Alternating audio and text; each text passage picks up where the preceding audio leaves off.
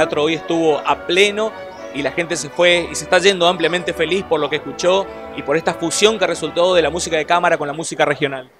Sí, realmente muy gratificante, o sea, empezar la temporada con un concierto así, en que realmente, bueno, tenemos ya un público que nos sigue, el poder mostrar eh, los grandes compositores universales, el poder mostrar también qué se puede hacer con la música de nuestros compositores misioneros, fusionar la orquesta, como dijiste, la orquesta de cámara, con en este caso los hermanos Núñez, o también por ahí desempolvar algunas obras, como son las dos obras de Aníbal Cambas, eh, uno de nuestros primeros compositores, y así que realmente muy contento y espero que toda la temporada, que son 13 conciertos, podamos seguir contando con este público ante cada una de nuestras propuestas. Todo un desafío, digamos, para este tipo de música que, que presentada en un ámbito que por ahí es más para la música clásica, por decirlo de una manera, sinfónica únicamente, y la fusión hizo esta, este mundo de gente, me parece, digamos. Los arreglos tuvieron a tu cargo, ¿sí? Eh, eso significa que tuviste mucho que ver con el resultado final de lo que se escuchó. Sí, sí, que cuando Emilio, digamos, que propone la idea junto a la Pico, digamos, fueron todos los arreglos a cargo mío, digamos, o sea, todo un, mucho trabajo adentro, digamos, mucho.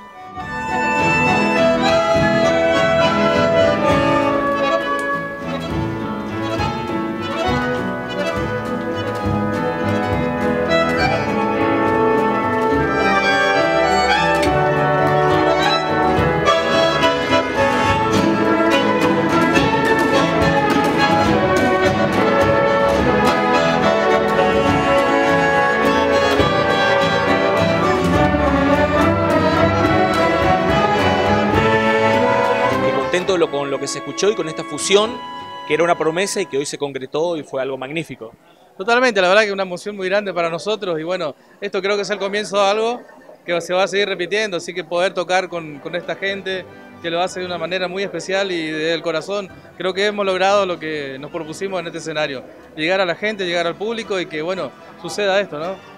Eh, Chavo, la música regional se puso de gala hoy Exactamente, la verdad que estamos muy contentos de poder compartir este escenario, ¿no? Y bueno, con estos músicos, con esta orquesta, y bueno, jerarquizar de alguna manera nuestra música, y bueno, que esté eh, bueno, en lo más alto, como siempre lo que queremos, ¿no? Y, bueno, la verdad que muy agradecido al Centro del Conocimiento y bueno, por darnos esta oportunidad de poder compartir la música con esta orquesta y bueno, ojalá podamos seguir siempre bueno, tocando juntos, ¿no? Bueno, Cacho, comparando con tantas noches, con tantos artistas, tantos escenarios que vos recorriste, eh, la de hoy, ¿Vas a formar parte dentro de esas las privilegiadas, de un podio que tenés?